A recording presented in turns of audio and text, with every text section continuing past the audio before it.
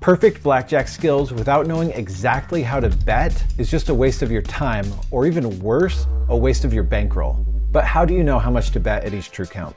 In this video, I'm gonna show you how an optimized bet spread can help you both with game selection and in maximizing your profits at the blackjack table.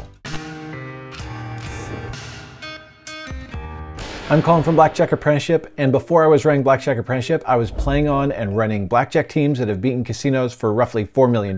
And one of the roles I had on these teams was putting together optimized bet spreads. In our early days, we just mimicked what we found in the blackjack book that we read on card counting, but as we got betting software, we got more sophisticated. And what we realized is that not all games and not all bet spreads are created equal. There were certain places we were playing that even with a big bet spread, it was an absolute waste of time. We were gambling at best. Whereas other casinos, if we really tweaked and refined our bet spread, we could have a bigger impact on our win rate or expected value than we ever realized. And like me, countless aspiring card counters put together all the technical skills, the basic strategy, the counting, the true count, the deviations, that they just head to the casino and use whatever bet spread they come up with in their head, one to five, one to 10, one to 20, not knowing really what they're doing and the impact it's having on their EV and their risk.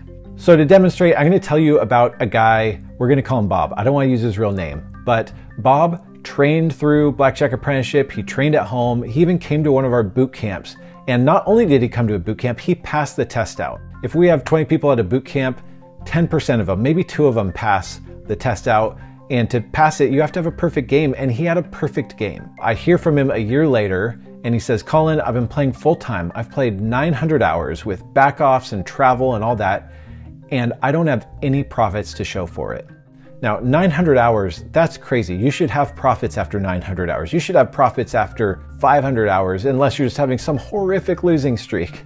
I knew something was up, and so I started digging in, asking questions about where was he playing, how was he betting, what kind of conditions was he playing in, and I started to develop a picture of what was going on. To kind of show you both what was wrong as well as how we fixed it, I'm gonna bring you over to some betting software to demonstrate. You need to be able to analyze how every condition and how you bet is impacting your EV and your risks. This is our betting software. It's called the Pro Betting software and it comes with our Blackjack Apprenticeship membership, but you can use CVCX or CV data, which comes from QFIT. Let's talk about Bob's situation. He had a $25,000 bankroll and he said he was using a 1 to 10 bet spread with a $25 betting unit.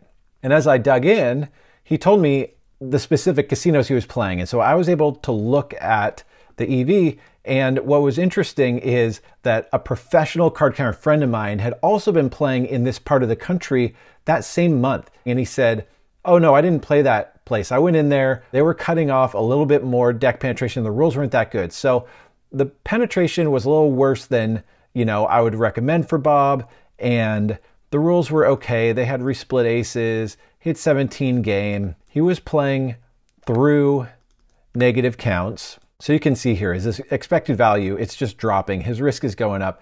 But also, he was playing a little bit more crowded tables. We'll say four players on average. Well, that's going to drop his rounds per hour. As I'm starting to get this story from Bob, I see, look, his EV with a $25,000 bankroll is $10 an hour. His risk is sky high. And, you know, what it's going to take to get to the long run is just in- incredible. It's just not advisable. Here's our variance visualizer. After 900 hours at such a poor quality game, you know, anything can happen.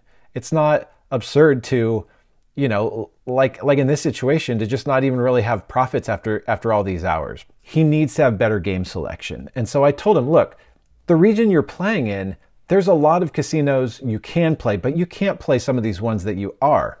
And so I knew that, that in that same part of the country, there were games that had much better deck penetration and even had surrender. Okay, so things are starting to look better, but still, he needs to avoid those bad negative counts. And he also needs a, a more optimized bet spread. There are things he could do, like, look, we barely have an edge at a true one. I would wait for true two. And if there's other players at the table, it's ideal. Don Schlesinger has pointed this out. It's better to play two spots when you have the advantage with other players at the table. You know what? His risk is below 1%, so he could even bump up his bets here in those higher counts. He could he could bump up sooner. I'll bet he could go up to 200. Let's find out. Yeah, 1.2% risk of ruin. And also, really try to play with fewer players. If he's playing with two players on average, what this is going to do to his rounds per hour, it's a big impact. And now he went from what, 10 bucks an hour to $87 an hour, 1% risk of ruin, and a much shorter long run overall. Well, here's the next thing for Bob. I said, look, if you're playing better games and more optimized bet spread, you actually have the bankroll to play even better games. There are regions in the country that have better penetration, better rules. And look what this did. It, bumped up the EV to 119. But if the risk is below 1%, he can even be more aggressive about his betting. He could do something more like betting 100 at three. He's still under, he's at 1% there and $130 an hour. Um, and things are looking even better for him. So what happened with Bob? I told him, he thanked me. He said, you know what, you're right.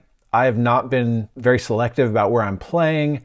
I'm falling into some of the traps that I knew not to do, like more crowded tables and playing through negative counts and playing poor deck penetration, poor rules. I hear back from him a few months later, and he said, Colin, I played 200 hours and I'm winning over $100 an hour since then. Game selection, an optimized bet spread took someone like Bob from $10 an hour to $130 an hour simply by knowing what games to attack and how to attack them. Even with good game selection and an optimized bet spread, there is still variance to the game of blackjack as a card counter, and to us, variance is a four letter word. So to learn how to minimize your variance, check out this video.